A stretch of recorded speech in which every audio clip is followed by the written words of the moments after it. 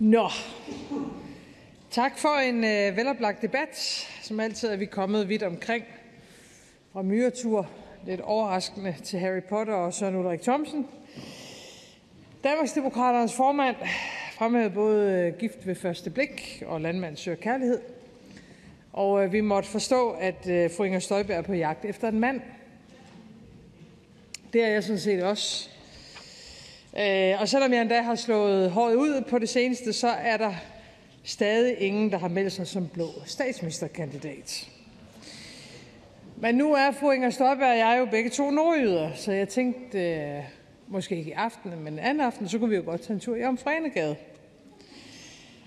Hvis vi tager en tur i gaden, så tror jeg sådan set godt, vi kan finde en mand til fru Inger Støjberg. Og jeg tror sådan set også, der er større chance for, for at finde en, der vil melde sig som blå statsministerkandidat i Omfrenegade, end her i Folketingssalen. Og fra Nordens Paris til et andet Paris. Hr. Janne Jørgensen havde øh, en fremragende gennemgang af, hvilke OL-discipliner de forskellige partier tilhører. Der holdes også OL i skak, hvor en af reglerne er, og det har også fyldt noget i debatten i dag, at rørt brik skal flyttes. Og ligesom politik, så er skak jo sådan set også et nulsumsspil. Der er 64 brikker på brættet, der er 32 brikker. Det er lidt flere, end der er minister i regeringen endnu. Og uden at jeg på nogen måde skal påstå, at jeg har forstand på skak, for det har jeg ikke, så ved jeg dog efterhånden, at det er en god idé at alliere sig i skak med bønderne. De er arbejdsomme, de er viljestærke, de ser sig ikke tilbage, de vil bare fremad. Og bunden han har jo den helt særlige fordel, at hvis den når helt, helt frem til den modsatte side af brættet, så får den nyt liv med højere rang, og det er godt at have i en regering. En anden brik med særlige egenskaber, det må være tårnet. Til trods for navnet, så er tårnet i skak faktisk ikke særlig højt. På den måde minder det jo lidt om hr. Lars Løkke Rasmussen. Og både i skak og i politik, så er tårnet oftest med i slutspillet. Og det er jo sådan set en meget nyttig brik, når man skal forsvare kongen eller dronningen, eller sætte modstanderen skakmat. Men det er også en god idé at se sig en lille smule for, fordi tårnet kan både gå frem og tilbage og fra side til side. Og øh, som jeg husker det, så står det også altid på spring for at overtage kongens plads. Og så er der her Vandopslag, eller for den sags skyld her Peter Dragsted. Det må være løbere. Stryger fremad på pladen, men altid i en lidt skæv retning. Og så er der springeren, som kan, ja, det er faktisk den eneste, der kan hoppe over egne brækker og modstanderens brækker. Hoppe over ansvaret, hoppe over svær slutninger, hoppe videre, hoppe væk. Men det passer jo ikke på nogen her i Folketinget. For vi er kun på dag 3, og indtil videre er alle parate til at løfte ansvaret. Tak for det. Og senest har oppositionens træk været et krav om, at vi med det samme skal forhandle pension. Tusind tak for at gøre det til det primære tema i dag. For en socialdemokrat er der faktisk ikke noget bedre, end at få lov til at tale om noget af det vigtigste. Og når det er noget af det vigtigste, så er det fordi, det handler om rigtige mennesker. Mennesker, der efter et langt arbejdsliv har fortjent nogle gode år med børnebørn og fritidsinteresser. Men det er, må man forstå på oppositionen, utrygt, at Socialdemokratiet har åbnet for en diskussion omkring pensionsalderen. Det gjorde blandt andet fru Signe Munk sig til fortæller for i sin første ordførertale. Og her er det så lige, jeg må spørge, utrygt for hvem? Jeg tror sådan set ikke, danskerne er utrygge ved den her øh, diskussion. Tværtimod, så tror jeg, at det for de fleste danskere er ret indlysende, at vi også her i Folketinget indser, at alle ikke bare kan blive ved med at arbejde til det uendelige. Men hvis det er oppositionen, der er blevet så utryg ved en politisk debat, øh, at man hellere ser det forhandlet og afklaret med det samme, ja, så må jeg selvfølgelig beklage. Jeg troede bare, det var en del af det at være politiker, at man godt kunne diskutere ting. Og jeg vil under alle omstændigheder appellere til, at vi går lidt mere grundigt til værks, end det, der er blevet i tale sat i dag. 1, 2, 3, så kan vi lige justere velfærdsaftalen. Velfærdsaftalen er fundamentet under dansk økonomi. Og derfor var den oprindelige velfærdsaftale i øvrigt heller ikke noget, der bare lige faldt på plads hen over en nat. Det var den daværende regering, VK-regeringen for mange år siden, der i september 2003 nedsatte en velfærdskommission. Den brugte to år på et omfattende arbejde. Og blandt andet på baggrund af det besluttede et bredt flertal i Folketinget i 2006 det er jo et fornuftigt princip i, at i takt med, at vi lever længere, så arbejder vi også længere. Og det er derfor, vi næste år stemmer om at hæve pensionsalderen til 70 år i 2040, altså om 15 år. Og jeg har nu efter, jeg har ikke talt helt præcist, 13-14 timers debat, stadig til gode at høre, om de partier, der kræver en forhandling nu, har tænkt sig overhovedet at stemme for det forslag, der skal stemmes om næste år. For hvis ikke man gør det, så risikerer man jo at blive et af de partier, der faktisk springer over ansvaret. Og inden den afstemning, så skal der selvfølgelig, som udenrigsministeren også har sagt, det være klarhed om den efterfølgende proces. Hvornår der kommer en politisk forhandling, for selvfølgelig gør der det, og på hvilket grundlag. For jeg synes sådan set, det er meget klogt, at vi ikke kun isoleret ser på pensionsalderen, men at vi også får andre elementer i spil. Herunder et overblik over dansk økonomi. For godt nok er den sund, og med et rådrum, der er blevet opjusteret, men jo ikke en økonomi, der er i nærheden af at kunne finansiere alle de udgifter, vi forventer i fremtiden. Vi er som land ikke i nærheden af at være færdige med at investere i den grønne omstilling. Vi er ikke i nærheden af at være færdige med at investere i beredskab, forsvar og sikkerhed. Bare for at nævne to områder, hvor vi får brug for en væsentlig større økonomi end den, vi har i dag. Arbejde med at tilvejebringe et ordentligt beslutningsgrundlag behøver det at tage to eller tre år, som det gjorde dengang velfærdsaftalen blev til? Nej, ikke nødvendigvis. Det må gerne være klar inden næste valg. Men det er da lidt ejendommeligt, at da vi i sidste valgkamp fra Socialdemokratiets side foreslog et lønløft, som i øvrigt nu er begyndt at blive udbetalt, til blandt andet pædagoger, sygeplejersker, social- og sundhedshjælpere, social- og sundhedsassistenter. Alene i de grupper cirka 180.000 ansatte i kommuner og regioner. Ganske få kaldte fru Inger Støjberg det tidligere i dag. Det må da være kandidaten til dagens største underdrivelse. Nå, det var bare tilbage til diskussionen. Det var den gennemgående kritik, at det var useriøst at fremlægge et sådan forslag i en valgkamp. Det var valgflask, og der blev sagt alt muligt andet. Nu rejser vi så en debat om noget, der vil have virkning om mere end 20 år. Og her er vi så åbenbart i for god tid som socialdemokrater.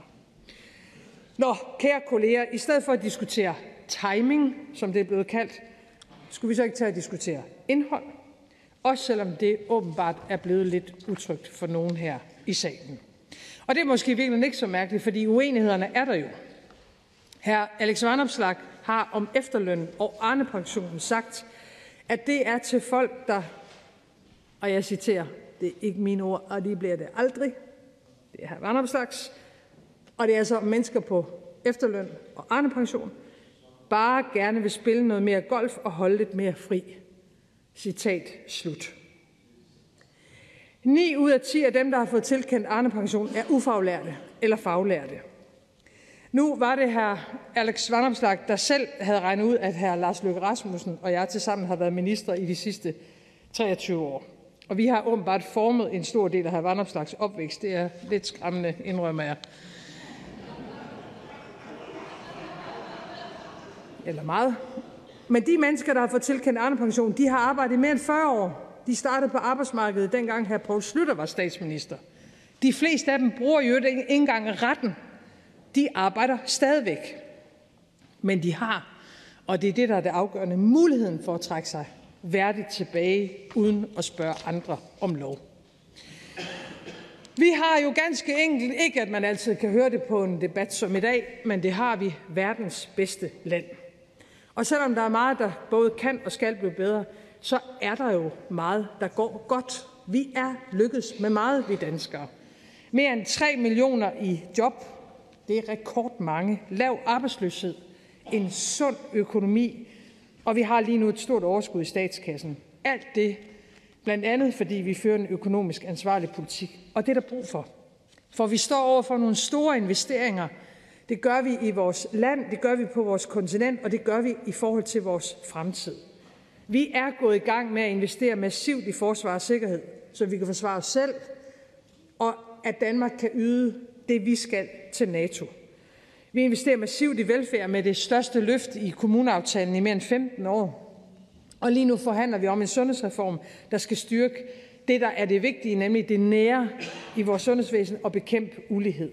Og vi forhandler også om den grønne trepart, der med Arealfonden ligger mere end 40 milliarder til de investeringer i et grønnere Danmark, vi allerede har foretaget. Så vi er i gang med en masse, men opgaven er hele tiden at tage de næste skridt. Og her er der så godt nok noget, der har undret mig i dag i debatten om uddannelse. For der er begrebet elite blevet brugt, blandt andet af hr. Martin Lidegaard, i en påstand om, at regeringens kommende reform vil betyde, at det kun er eliten, der kan gå på det klassiske boliggymnasium. Når man siger sådan noget, så afslører det, synes jeg, et meget ærgerligt, men nok også meget rodfæstet syn på, at der er nogen i vores samfund, der er finere end andre. Men hvem er egentlig den elite? Slår man op i en ordbog, så er eliten en gruppe mennesker, der hører til de bedste eller mest privilegerede inden for et bestemt område, f.eks. i kraft af deres evner, magt eller rigdom. Og den fejl, vi har begået som samfund i mange år, det er, at vi, når det gælder de unges uddannelse, har sat lighedstegn mellem det boglige, det teoretiske, det abstrakte, og så hvem vi betragter som værende elite og hvor der er prestige. Kunne vi ikke slutte det nu? For det vi gerne vil, det er sådan set at udvide det, fjerne det. Det vi ønsker, det er at give alle unge muligheden for at blive de bedste inden for deres område. Så de unge, der er dygtige til det boglige, men også dygtige til det praktiske, at de ikke skal føle, at der er mere prestige i det ene frem for det andet. Og så de unge, der ikke er dygtige til det boglige, men dygtige til det praktiske, at de ikke skal føle, at det er et nederlag, at de har det svært ved det boglige. Prestige kan ikke koges ned til et karaktergennemsnit. Det kan det ikke. For det, vi gerne vil med uddannelse, det er frihed, og det er dannelse. I øvrigt, som fru Franciska Rosenkilde formulerede det. Og det er jo derfor, vi faktisk foreslår nu at tage konsekvensen af de unge og give dem muligheden for at gå i gymnasiet. Giv dem muligheden for at følges med deres venner efter folkeskolen.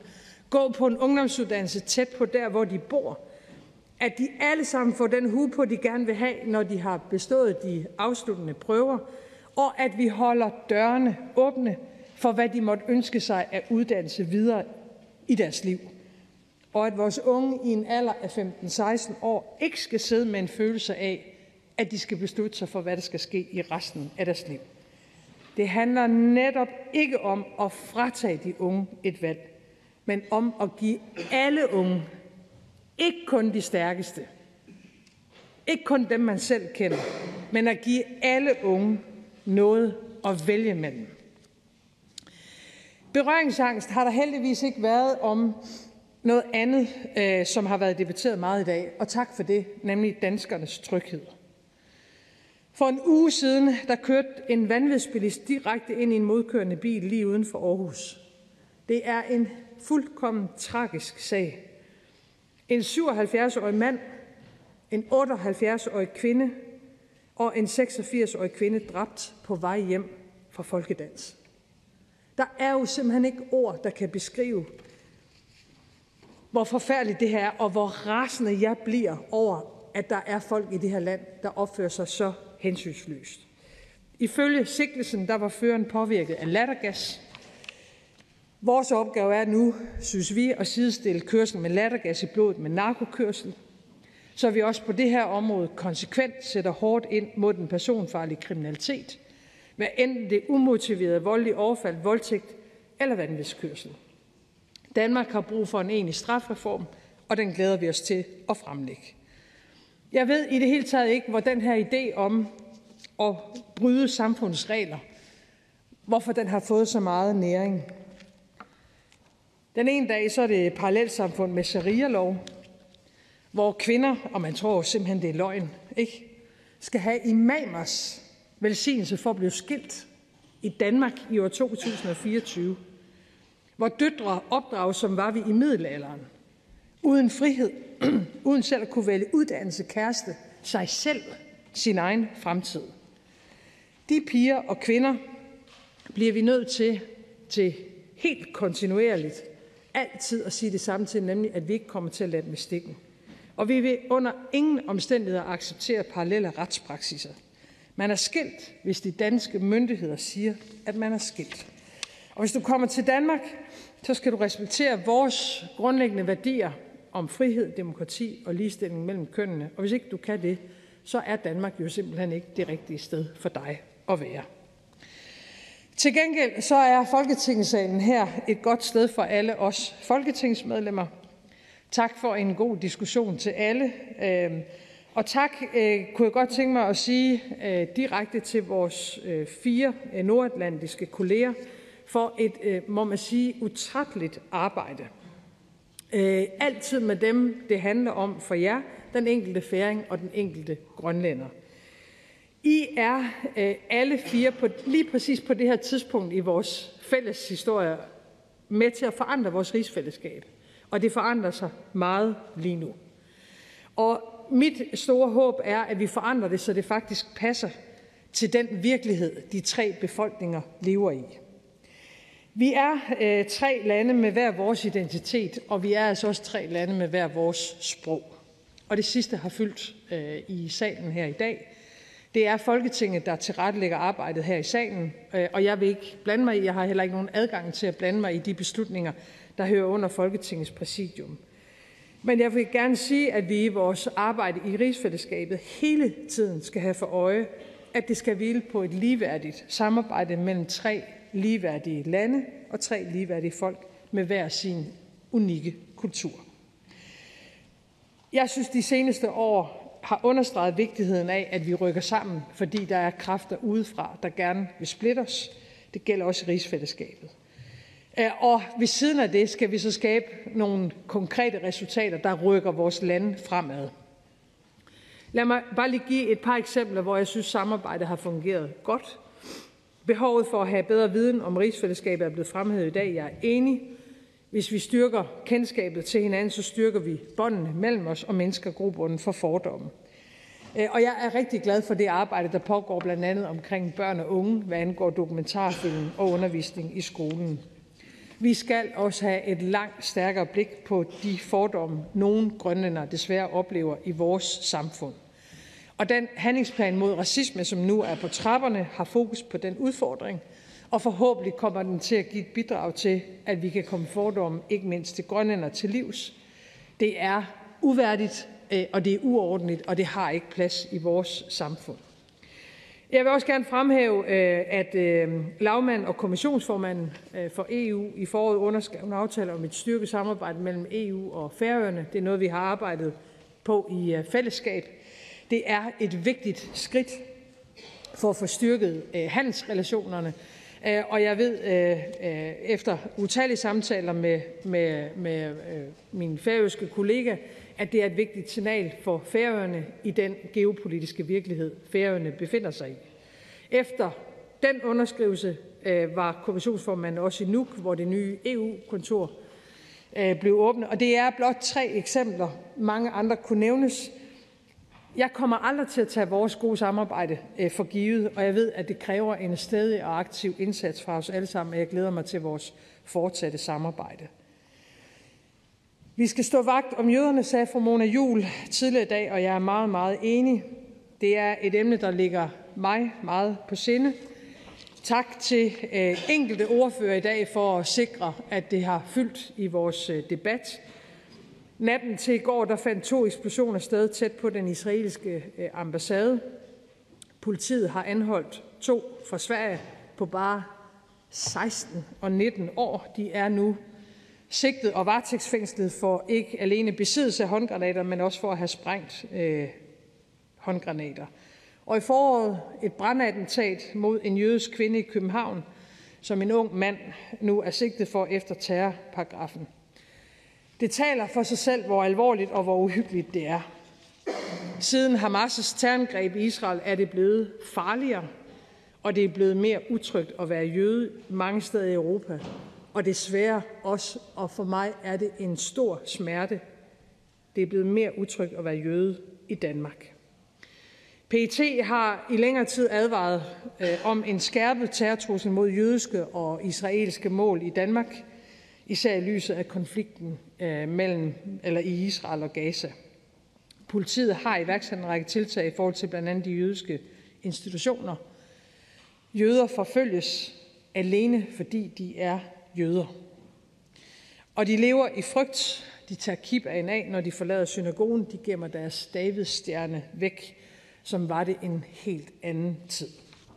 Det er beskæmmende, det er bekymrende, og det er ikke sådan, det skal være i Danmark og i Europa. Vi må aldrig nogensinde acceptere antisemitismen, og vi skal bekæmpe den alle steder, vi møder den. Og derfor bliver jeg bare nødt til at være hudløs ærlig og sige, det undrer mig, at der ikke er en større farvelse i vores land over det her. Hvor er demonstrationerne imod det? Hvor er demonstrationerne for det jødiske mindretal? Hvor, hvor, hvor, hvor, er, hvor er den debat? Hvor er de stemmer? Jeg hører det ikke, og det bekymrer mig. Fordi i det ligger der noget, der er større og farligere, end man lige skulle tro. Hvor er det folkelige oprør? Hvor er de unge på gaden over, at de eneste i vores land, der hver dag går i skole under politibeskyttelse, det er jødiske børn. Det er små børn, der knap selv kan bære deres skoletaske, og de skal alligevel gå forbi tungt bevæbnet politi for at komme ind og få undervisning, ligesom alle andre børn. Det hører ingen steder hjemme. Og jeg savner et langt større engagement i de problemer, som vores jødiske medborgere har. Et langt større og utvetydigt afstandstagen fra det, vi desværre oplever herhjemme. Og når de stemmer ikke gælder i gaderne, som andre stemmer gør, så er det godt, at mange af os her i Folketingssalen står sammen om det, og dermed lever op til det løfte, der blev givet af politikere før os om aldrig mere i Danmark og i Europa. Og her til sidst øh, to ting. Øh, først og fremmest øh, tak til alle her i Folketinget for den massive støtte til Ukraine. Det har ikke fyldt i debatten i dag. Jeg tager det mest af alt som et udtryk for, at lige præcis her er vi enige, og vi står sammen. Øhm, det er jeg stolt af, og jeg er glad for det. Men jeg vil også sige til jer, at den rolle, vi har valgt at indtage som land, den forpligter. Øhm, og øh, det er ikke sikkert, at øh, det var de to og et halvt første år, der var de sværeste. Så øh, lad os vise, at hvad vi har startet, det har vi tænkt os at fortsætte. Og for nu at runde af, hvor vi startede på skakbrættet, så er der et begreb, der hedder træk, tvang. Det er sådan lidt træls sted at ende i skak. For det beskriver en situation, hvor en spiller kun har træk tilbage, der forværrer situationen. Og nu sidder der måske nok en her i salen, der kunne finde på noget sjovt at sige omkring det, også hvad angår regeringen. Øh, jeg vil derfor bare til slut nøjes med øh, at glæde mig over, at der stadig er to år til næste valg, og derfor er der rig mulighed for, at alle os her i salen kan finde fælles løsninger på de udfordringer, som vores vidunderlige og elskede Danmark står overfor. Tak for debatten, og jeg ser også frem til den næste times tid, eller hvad der nu er i vente.